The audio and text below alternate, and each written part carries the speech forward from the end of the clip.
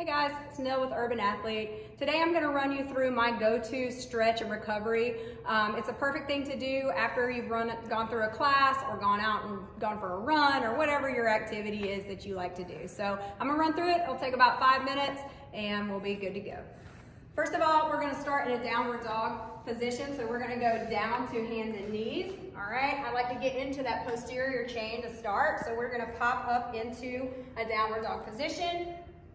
All right, we are going to then bend the right knee, push the left heel into the floor. You should feel a nice stretch kind of down through the calf and the hamstring. And what we're gonna do is then alternate that position. So we're gonna switch feet and what I call pedaling it out. We're gonna pedal it out for about 10 counts. So 10, 9, 8, 7, 6, 5, 4, 3, 2, and 1. Next, we're gonna pop into those hips so we're gonna bring our hands to the left side of the mat, drive our right foot forward. You might need to shimmy your back leg just a little bit towards the back. Make sure you're keeping the knee and the toe in alignment. And again, we're gonna kind of just sit into this stretch for a second.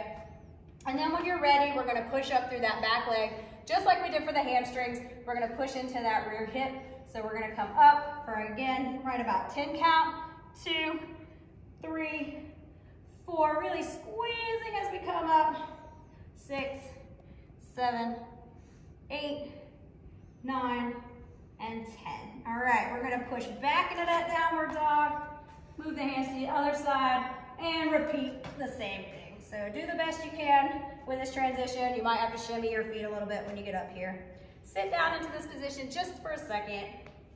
Tuck that back toe, and then we're gonna drive straight up for another 10 count.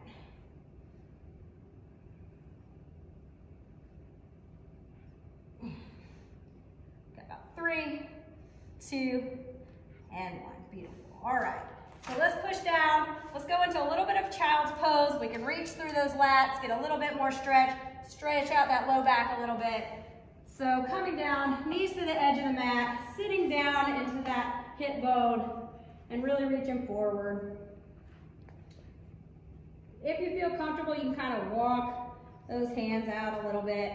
Feel a little extra stretch coming up through those lats, sitting down into that tailbone and just taking a few deep breaths. Two, do about three more. Really reaching, walking those fingers. And good. From here, we're gonna push up back to all fours, do a little bit of cat-cow, so dropping that tailbone, reaching up with the head, and then when you're ready, we're gonna really push the floor away, drive that back up. Try to get the shoulders away from the ears if you can. Doing about five here.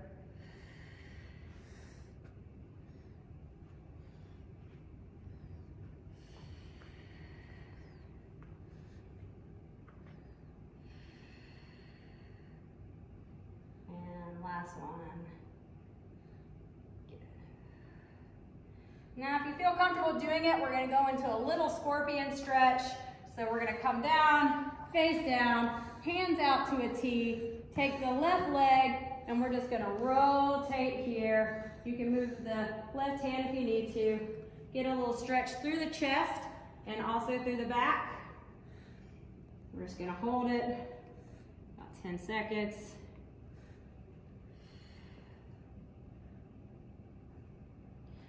Come back to center. Come back around. Oh, might be really tight on one side. It's real tight on this side.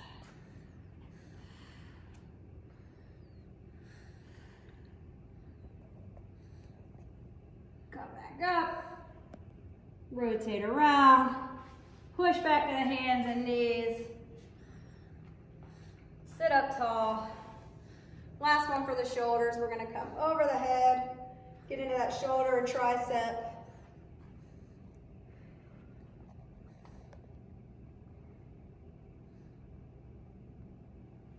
Hold that for about 30 seconds.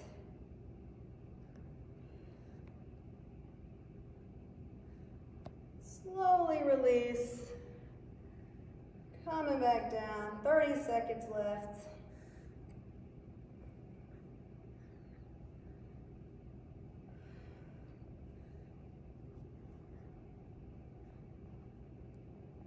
And come back down, slow release. Take a deep, deep breath in. Guys, that's my little quick stretch after the end of class. Hope you enjoyed it. Check out the rest of our videos on YouTube.